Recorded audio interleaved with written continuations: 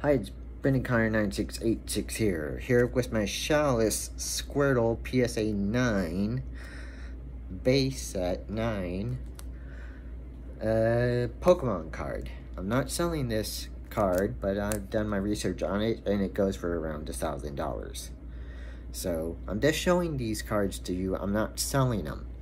I'm just showing these cards to you.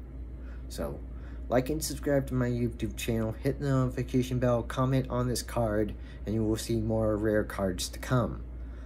And more music videos to come as well. This is my shadowless Squirtle PSA 9 graded Pokemon card. Not as popular as the first edition Charizard, but it's just as good.